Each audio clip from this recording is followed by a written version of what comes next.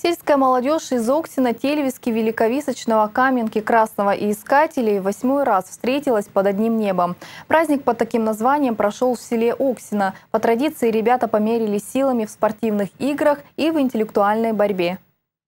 Атмосфера праздника и спорта царила, кажется, повсюду. Столица Пустозерского сельсовета встретила гостей пирогами и отличной погодой. Зародившийся еще во времена становления Заполярного района, в этом году праздник поражает своим масштабом.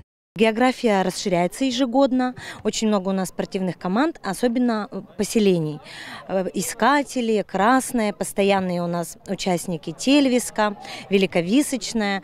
Э, такая небольшая деревня Каменка, и то представляет свою команду. Ну, естественно, хозяева Оксина и, конечно же, Малоземельский сельсовет на Льминос всегда к нам едут. На лодках, на судах, всяко разно, но едут.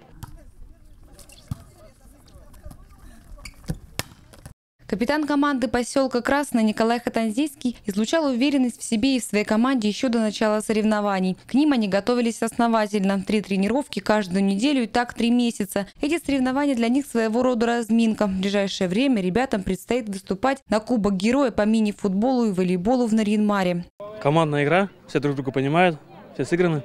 Все сильные команды. Ребята молодцы, хорошо играют. Посмотреть на жаркие состязания молодых и активных собралось практически все село. Каждый от мала до велика старался поддержать участников и не покидал соревнования до самого конца. За все команды были. Как вам игра? Очень хорошо. Главное дело, не убили нас. Мастер спорта по лыжным гонкам, второй разряд по шахматам и биатлону. С неподдельным интересом и большим опытом за играми наблюдает Иван Васильевич Выучейский. В свои 75 он и сейчас даст фору любому. Все свободное время я порой уделяю, чтобы прогуляться. Я шутку-то говорю, прогуляться. Я и порой тут в гуляю, часто бегаю. Я бывал в свое время еще. Ну, недавно прошло 7 лет, наверное.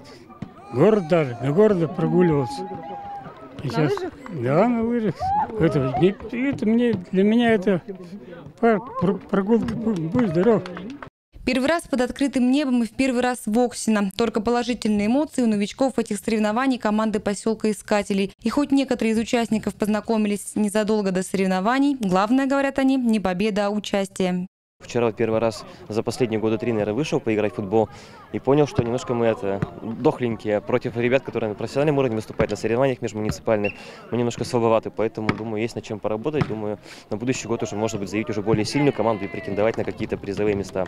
Где был открыт первый кинотеатр в мире? Из какого фильма фраза «Красота спасет мир» решающей стала ставшая традиционной интеллектуальная игра «Что, где, когда». В этом году она была приурочена Году кино в России и Году народного единства в Ленинском округе. По результатам спортивных соревнований лидировали красновцы. Свое преимущество, что особенно приятно для самих ребят, подтвердили интеллектуально. Интеллектуальная была на последнем месте. А вот, а вытаскивали только футбол и волейбол. Ну, а, в а вот сейчас мы... Сейчас мы... Прошлый год просто меня не брали с собой. Повезло.